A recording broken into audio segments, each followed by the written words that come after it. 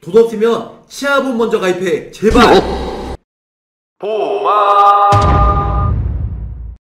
구독자님 감사합니다 보호망입니다 돈 없으면 치아보험에 가입해라? 솔직히 웃기는 얘기죠 당장에 입에 풀칠할 돈도 없는데 남대없이 왜 치아보험에 가입하냐고요?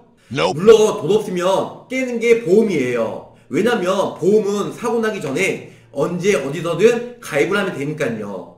그런데 제가 왜 돈 없으면 치아보험 먼저 가입하냐고 말을 하냐면요.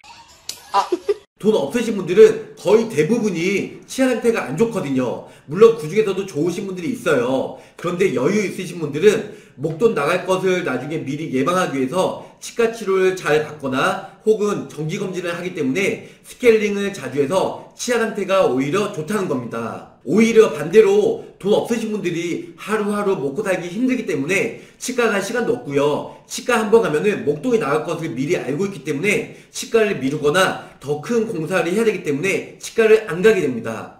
그래서 저 보호망이 치아보험을 가입을 하라는 주제로 썰을 풀까 합니다. 어, 이 새끼한테 입만 벌리면 거짓말이 자동으로 나와. 일단 돈 없으면 치아 상태는 물론 안 좋을 것으로 예상돼요. 만약 치과에 가서 치료를 받으면 크라운 몇 개, 임플란트 몇 개, 보철 치료 몇 개 정도 하게 되면 치아 견적이 400에서 500, 많게는 800에서 1000만 원 정도 드는 사례가 많이 있을 거예요. 그런데 돈 없는데 치아보험 가입한 것도 부담이 될 수 있겠죠. 하지만 꼭 돈 없으신 분들이 할 건 다 하더라고요. 차라리 술 마실 돈을 한두 번 안 마시고 돈 10만원 정도 투자해서 1년이나 2년 뒤 치과 치료에 쓸 돈을 월 보험료로 납입을 해서 가입을 하면 된다는 겁니다. 특히 치아보험은 단기적으로 가입하고 나서 보험금 청구할 확률이 매우 높은 상품이거든요. 그래서 각 보험사마다 높은 손해율로 인해서 보철 치료죠. 임플란트, 브릿지, 틀니, 보존치료, 크라운, 인네이, 온네이, 복합 레진 등 한도를 계속 줄이고 중복 가입시켜 목돈을 목타 목도로 업계 누적을 줄이고 있고 앞으로도 계속 줄일 예정입니다. 그래서 치아 상태가 안 좋은데 나중에 목돈을 나갈 것을 두렵고 통증이 서서히 시작된다면 병원 가기 전에 꼭 치아보험 먼저 가입하시고 저 보호망한테 연락 주시면 나중에 치과에 가서 치료받을 돈을 저 보호망이 만들어 드리겠습니다. 또한 치과 치료에 전부 다 쓰이고 나서 몇백만 원 남도록 제가 설계해 드릴게요. 간단하게 보호망 플랜은 이렇습니다. 40세 남성 기준으로 크라운 2개, 임플란트를 3개 정도 해야 된다고 가정한다면 크라운 개당 140만원, 임플란트 개당 400만원 나오는 플랜으로 제가 해드릴게요. 그럼 크라운 2개면 280만원, 임플란트 3개면 1200만원, 총 1480만원 지급을 받을 수 있는데요. 물론 보존 치료죠. 크라운이나 인레이 복합 레진은 1년 미만 시에는 50%, 1년 이후에는 100% 보장이 되고요. 보철 치료, 임플란트는 2년 이후에는 100%, 2년 미만에는 50%. 현재 국내 모든 보험사가 이런 구조로 되어 있습니다. 묻고 더블로 가 예전에는 메리츠화재만 임플란트 1년 이후에 100%, 1년 전에 50%였는데요. 지금은 다 표준화가 돼서 2년 이후에 100%, 2년 미만에는 50% 지급이 되고 있습니다. 제일 저렴하고 가성비 좋은 회사들로 저 보호망이 추천을 해드릴 거예요.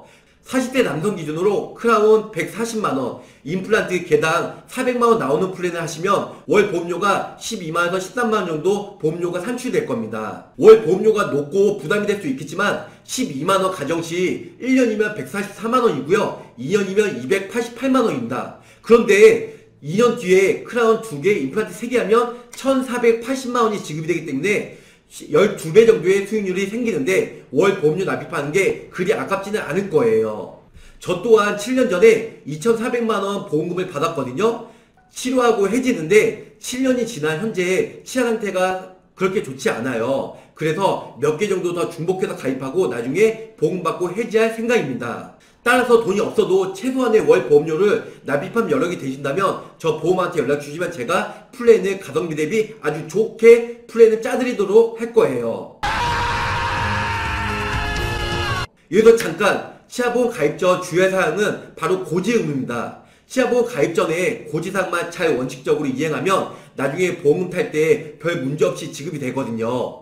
7년 적 있냐? 1년 이내에 치아 우식증으로 보조이나 보조치료가 한 적이 있냐? 5년 이내에 잇몸병이나 풍치로 인해서 발치를 했거나 치주질환, 치주 수술을 했거나 수술을 해야 된다고 권유를 받았냐? 이거든요. 질문에만 해당이 안 되면 보험 가입하는데 문제가 없고요. 나중에 보험금 청구할 때도 전혀 문제 없이 보험금을 전부 다 받으실 수가 있다는 겁니다. 결론을 말씀드릴게요. 몇 년 전부터 저 보험왕이 유튜브에서 치아보험을 보고 많은 분들이 중복해서 치아보험을 가입을 했습니다. 현재까지 100% 문제없이 지급이 잘 되었고 앞으로도 잘 나올 것으로 예상됩니다.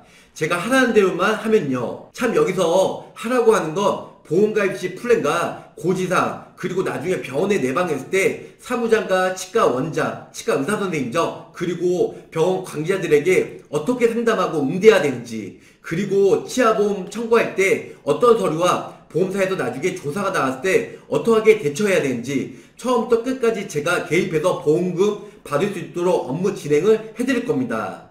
보험은 단순히 가입이 중요한 게 아니고 보험금 받을 때까지의 관리가 중요하거든요. 그래서 저 보험왕이 보험금을 잡아갑니다. 제 자랑은 아니고요. 아무튼 그래서 저 보험왕을 믿고 맡겨주시면 제가 여태껏 100% 지급률 자랑한 만큼 많은 경험과 노하우 그리고 지식적인 부분을 총동원해서 관리하고 보험금 받을 수 있도록 수월하게 관리 드릴 것을 약속드립니다. 내용이 좋으셨으면 구독, 좋아요, 알림 설정 꼭 부탁드리고요. 오늘 한 주평 돈 없으면 치아보험이 정답이다.